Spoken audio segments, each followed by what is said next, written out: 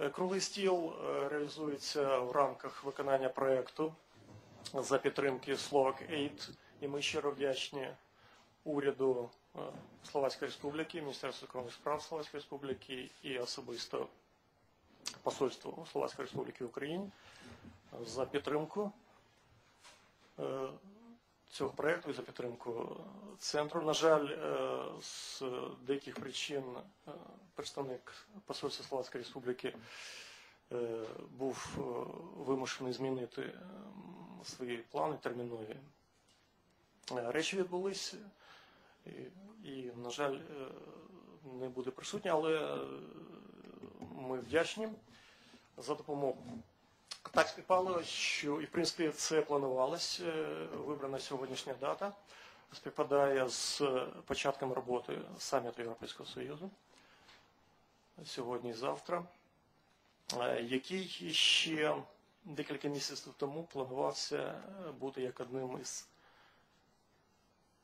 стратегічним і вирішальним самітом Європейського Союзу в нинішній історії Європейського Союзу, коли планувались до ухвалення речі, які б фундаментально змінили всю природу Європейського Союзу. Е, На грудневому саміті Європейського Союзу формально був ухвалений ухвалена доповідь е, президента Європейської ради пана Рампея до справжнього економічного монетарного союзу, в якій були закладені підвалини повного переоблаштування Європейського Союзу. Е, Базуючись на тому, що і співпав політичний графік, і на протязі цих шести місяців в Європейському Союзі відбувались дуже важкі з усіх критеріїв процеси. Лідери Європейського Союзу і лідери країн-членів вирішили перенести стратегічні дебати щодо майбутнього Європейського Союзу на наступні саміти в жовтні. І історичні рішення планується ухвалити в грудні цього року. Поза сумнівом, е, одним із головних чинників щодо цього рішення перенесу, переносу ухвалення надважливіших рішень щодо майбутнього Європейського Союзу пов'язані в першу чергу з виборами в Німеччині, які пройдуть в вересні, 22 вересня. Е, Я трошечки е, тут е, є суперечка, тут є які події, які е, казав пан Олексій, які відбуваються цьому тижні або е, у зовсім недалекому минулому. Але є така також тематика, яка була заложена в тему цього круглого столу. І це має чотири питання. Е, Я не захочу дуже говорити про, скажімо, майбутнє відносин між Україною та ЄС е, за цих нових стратегічних умов, як говорить пан Олексій. Це напевно краще для фахівців. Але мені здається, що буде цікаво послухати наше ставлення в цих умовах до ситуації в Євросоюзу і також до е, розширення.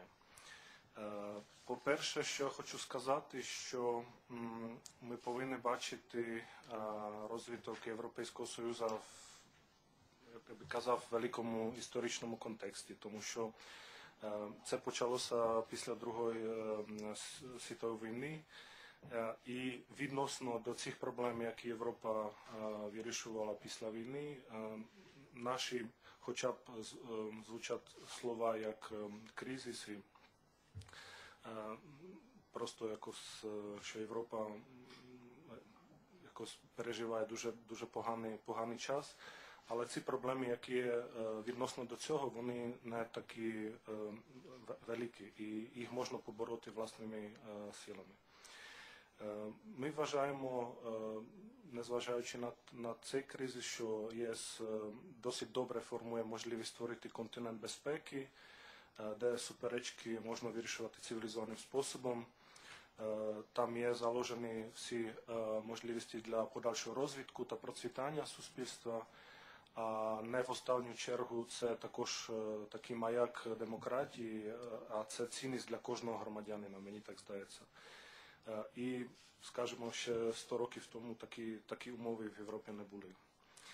Е, Тепер щодо трансформації ЄС додаються якісь е, нові стратегічні візії. Наприклад, це розширення монетарного союзу фіскальним союзом або банковським союзом. Е, Це загалом свідчить про вибір рішення поглибленням і це інтеграції. Ми можемо, ми побачимо, чи це добрий шлях, але поки що це рішення, яке напевно буде прийнято.